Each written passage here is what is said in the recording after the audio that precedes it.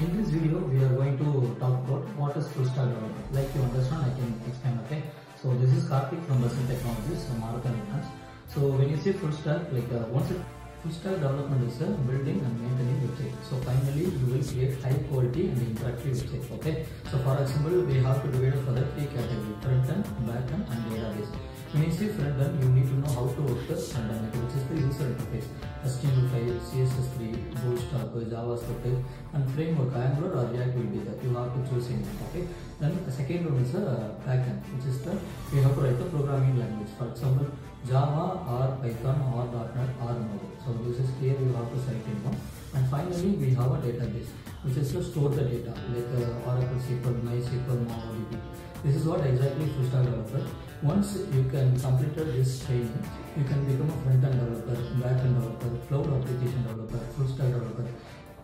What exactly full stack developer can do. There's a number of opportunities will be there. So you have to learn properly and clearly. That is very important. Okay. So hereafter we can see each and every separate separate courses.